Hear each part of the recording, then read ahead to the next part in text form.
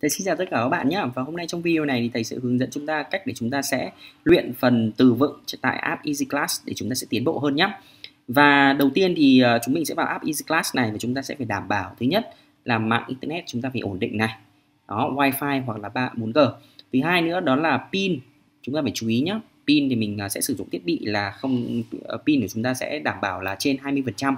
Đó. Và thứ ba nữa đó chính là bộ nhớ trong của điện thoại chúng ta Ờ, không bị đầy. Nếu như bị nhiều quá chúng ta xóa bớt ảnh đi nhé để hệ thống sẽ có thể lưu được âm thanh chúng ta và up lên trên. Và từ đó thì hệ thống sẽ bắt đầu chính check chấm chữa phần phát âm cho chúng ta.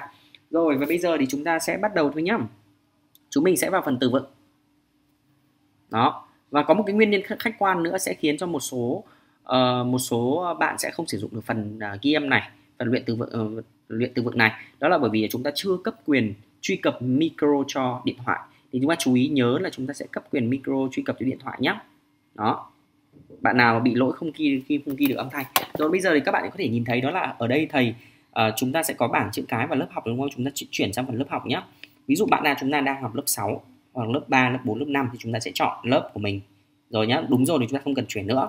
Và chúng ta sẽ chuyển sang đây thì ví dụ như chúng mình đang học unit 1 thì chúng ta hãy đảm bảo rằng là uh, thầy cô giáo giao bài tập về nhà của chúng ta là chúng ta sẽ phải làm hết tất cả đọc hết tất cả các từ trong unit để chúng ta để đào đạt được những sao xanh như thế này.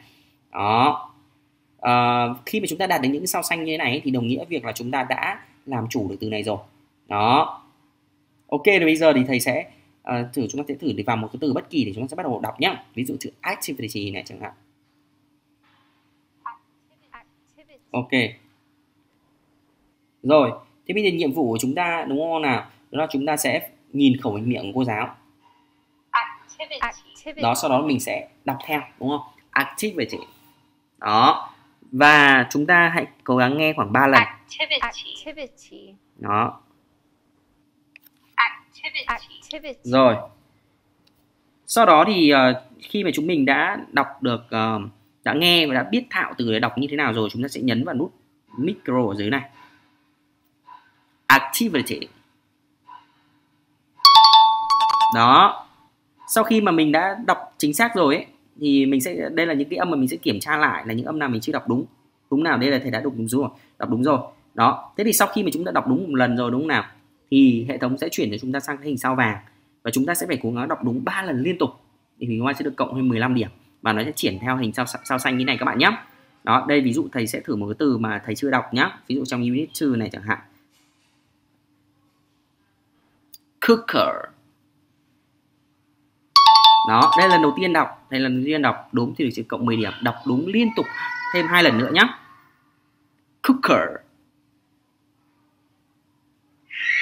Đó. Đọc đúng thêm lần nữa này.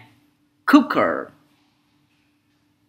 Rồi, ok. Vậy là thầy đã đọc đúng liên tục 3 lần và sẽ chuyển thành hình sao xanh đó. Và chúng mình sẽ cố gắng làm sao là tất cả những cái từ vựng của một unit thì chúng mình sẽ cần phải đọc đúng và làm chủ nó nhé rồi đó, và chúng mình sẽ có thể kiểm tra được cái phần kết quả học tập để cho xem biết được từ nào chúng ta đã làm chủ và từ nào chúng ta đã thành thạo nhé rồi, chúc tất cả các bạn, thầy xin chúc tất cả các bạn, chúng mình sẽ có những giờ phút học tập thật là bổ ích cùng Easy Class nhé